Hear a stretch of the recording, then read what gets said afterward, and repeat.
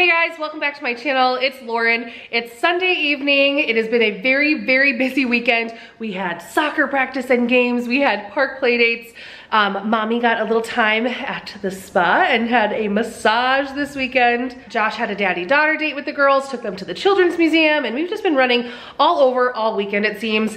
But at the same time, now that it's Sunday, we had to get prepped for the busy weeks ahead. So for us, that means restocking on all of our grocery staples and meal planning for the upcoming week. In this video, I'm gonna share with you guys our Costco and Kroger haul, as well as talk through some of our meal ideas for the upcoming week ahead. So I just laid out everything I got at Costco. Let's first take a peek at Kroger because I went there first earlier today. And then after the park play date that Lila and I went on with some friends, um, I ran into Costco and just got home with that. So here is what I got at Kroger. I spent right around $120 and I actually spent the same at Costco just now. So just under 250. and this is a really solid haul that'll make lots of different meals combined with the few things I have left in my pantry, fridge, and freezer. So I'm thinking this should last us about two weeks other than maybe needing to run in for some more like fruit and veggie produce and milk by the second week. Starting off with our Kroger haul, I bought four Honeycrisp apples. We're so excited. It's apple season. Um, I only bought four because we do want to go do some apple picking in our area.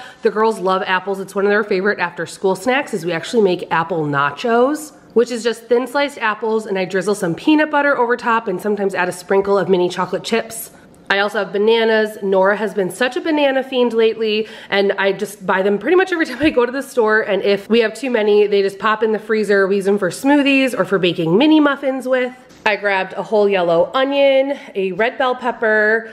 I have some Brussels sprouts to be a side with dinner one night this week. I also have some celery, some cherub cherry tomatoes. Um, I also have some frozen baby broccoli, two packages, and a package of some frozen sweet peas. I have two boxes of these Kroger brand fruit and grain bars. These are just like the Nutri-Grain bars. Lila loves these to bring with for her morning snack at school. I did grab some baking cocoa. I have a special dessert planned for this weekend. We're gonna be making a Texas sheet cake, so I needed some more cocoa.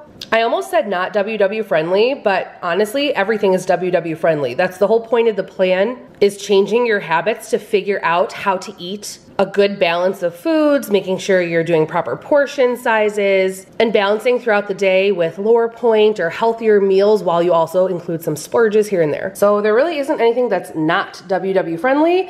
As I say that, uh, looking at the bacon, I find that Kroger has some of the best prices on um, like single packs of bacon. I don't use this enough to buy it at Costco. We'll either get it on occasion to do for a weekend breakfast along with like biscuits or eggs, or I actually bought this because we're gonna be doing BLT sandwiches for dinner one night. And two pieces of crisp cooked bacon is only three points on the WW plan. Depending on the brand, there's some wiggle room on that. I needed some more chicken breast in the house. This will probably get used up in like a week and a half over a couple different meals. They also had a great sale today at Kroger. It was $2.99 a pound for this Perdue chicken breast. Um, this was kind of a splurge last minute. They had a really great sale on this choice strip steak pack, the family pack. $12.99 a pound on sale. I have found their steak on sale for closer to $10.99 a pound, and that's like a super screaming deal when I can find it like that at Kroger. But this was a pretty good deal, and this will last us. The girls are not a huge fan of steak. I've tried steak and like shredded steak for Nora and Lila, and it's just not their favorite. I think it's a texture thing. So honestly, it's just Josh and I who will eat this. So we will cook up like steaks one night for dinner, but I usually only eat half of one. These are pretty big. The others you can easily freeze and keep them for another time or use them in some different recipes. Like one of these I'll probably slice really thin and we'll use it either for fajitas or steak salads or wraps. So for $37.80, I will get at least three meals for Josh and I out of this package. These Horizon low-fat strawberry yogurt pouches, these are so expensive. I don't often buy them for Nora, even though they're the easiest way and cleanest way for her to eat yogurt. But usually a box of four of these can cost you anywhere from like six, seven, eight dollars a piece, depending on the brand. The Best By date is the 13th of October. There is no issue with my children eating these in the next week and a half. Sometimes they reduce things just because they have excess of them, or I find a lot of good deals on their milk products. This is a gallon of whole milk. Nora already got into this because I didn't have it first thing this morning. We were totally out after last night, so she had a cup of milk when we got home from the store this morning. But they'll often reduce their milk down because they have a guarantee at Kroger that their milk will be fresh and their dairy products will be fresh for at least 10 days. So as soon as they cross over that 10 day mark, if this has an expiration date of like nine days away, which my one year old will drink more than a gallon of milk in the next nine days, they often reduce it down. So sometimes these are the kinds of things that aren't always on my list, but I always take a peek for them as I'm walking through the store. You never know what you're gonna find. Jumping over for one more find. Today was a day of finds, guys, I'm telling you. These Buitoni fresh pasta tortellini packs, they were reduced. They're the family size packs, reduced down to $3.20 each. I got two of them. They're originally around $8 my girls will love these. And the thing is, even though these have a user freeze date by October 14th, so all next week I can make these up one night next week for a family dinner. And then the other package, you can freeze these. So I'll just freeze a pack for later, but I got some savings now on it, so I just went ahead and doubled up. Mm, jumping around here. Um, I got 18 eggs. Uh, mid, true Midwest moment. It is fall time. I must have a block of cream cheese on hand at all times for crock pot meals. In addition to the whole milk for Nora, I got myself some unsweetened vanilla almond milk. This is what I use in my coffee, um, along with, I've really been liking the Chobani pumpkin spice coffee creamer. So what I do for my coffee in the mornings when I'm doing my own pumpkin spice latte is I brew a double shot of espresso in my Nespresso maker. If you guys ever have questions about my coffee maker, my espresso maker, I have it linked in my description box. Um, and then I will use a cup of almond milk for one point and two tablespoons of the pumpkin spice creamer. That comes to four points. They're two points a tablespoon on the WW plan. So I have a five point latte. It's one of my favorite things about fall is just like that delicious pumpkin spice latte. So I am willing to spend my points there, make it at home, save a little money, save a few points. And by a few, I mean actually quite a lot. I'm pretty sure a grande pumpkin spice latte from Starbucks comes in at about 13 points. Speaking of choosing what you want to spend your points on, I am making um, steak and some yummy sides for dinner tonight for me and Josh.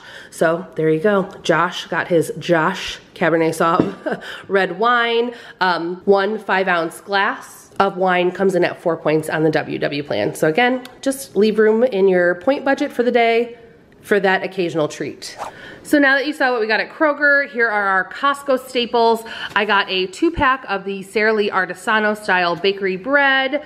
I got a large package of lettuce. This has six heads of romaine lettuce. We'll be able to use this to top sandwiches and use as salads and in wraps and things like that. So Josh and I do try to have a salad night once a week where we pick out a fun, not your basic salad salad and do that as a dinner. But we love doing a good hearty salad at least one night a week, especially on a weekday night because they're so fast and easy to put together with minimal dishes. I got a little bit of fruit at Kroger, but I also picked up a two pound package of strawberries at Costco a three pound package of red seedless grapes and raspberries for Miss Nora. These are her favorite. I got a two pound block of sharp cheddar cheese. I just shred this myself and use it for all of our recipes. These are some bigger stock up items. I got a six and a half pound package of lean ground beef. The Costco ground beef is really good and it's 88.12 for lean to fat content, which makes it pretty good for WW. It's lean, but it still has enough fat that like it cooks well if you're making something like tacos or burgers where you really feel like you need a little bit of that fat content, otherwise it ends up too dry. So I've shown before on the channel what I do with this when we get the large packages of meat. I actually weigh it out into one pound ish. Obviously, if it's six and a half pounds, I'll one that's a pound and a half.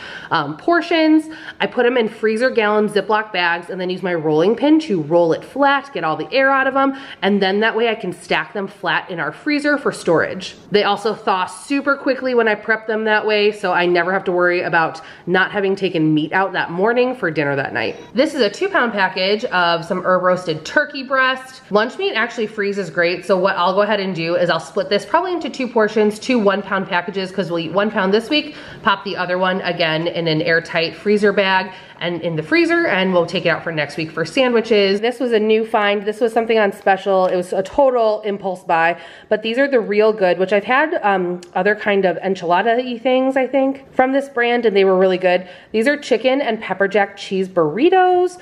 Um, these are fresh, they're not frozen, but I think you easily could divide up this package and freeze some. But I thought this would be a great um, replacement for meal prepping lunch some days this week for Josh and I. They pack 37 grams of protein, which is really nice. And they look really tasty. I think they'll taste really good, just quickly heated in the air fryer. Kid staple, more of our Just Bare lightly breaded chicken breast chunks. This is a four pound bag. Always the best price to get this at Costco. I think I paid around $17 for the four pound bag. And last week when I didn't go to Costco and I just ran in quickly and needed some chicken nuggets for the family for the week because we use some on salads and we use some for the kid dinners. I bought a one and a half pound package from Kroger for like $11. So definitely a better bang for your buck at Costco. These are delicious. Tastes just like Chick-fil-A when you put them in the air fryer. And this is one of my fall staples from Costco, the Kirkland Signature Chicken Tortilla Soup. You get two large containers of soup in this package. The best by date is all the way into January for these, so um, I can keep them both in my fridge and then I easily have something ready to go, whether it's a weeknight dinner, just something easy, grab and go. I can just pour it in a bowl for Josh and I, heat it up in the microwave, or if you're making it for the whole family, just pour one of these containers into a pot on the stove top, serve it with some warm tortillas or fresh homemade bread. So tasty and a nice, easy, quick thing to have on hand. It officially hit below a 70 degree high this week in the south. So that means fall has arrived and I am ready for soup and chili season. Bust out my crock pot. I think I'm gonna have more crock pot recipes to share with you guys coming up here in the next week or so. But that is everything I got from Costco and Kroger this weekend. Again, that was about $250 and it should last my family about two weeks with maybe just odds and ends of a couple little things we need by next week. I do also want to do a Trader Joe's haul coming up here soon. The fall items have been out for a while. I just haven't made my way down to one. They're all about 30, 35 minutes from me. But I can't miss Trader Joe's fall season, so I'll have to do a run sometime in the next week or so and pick up some yummy fall themed snacks and staples that we love from Trader Joe's. It's been a while since I've been to one. But don't miss out on those upcoming videos. Make sure you hit that red subscribe button. Please hit the like button if you enjoyed today's video. And until next time, bye.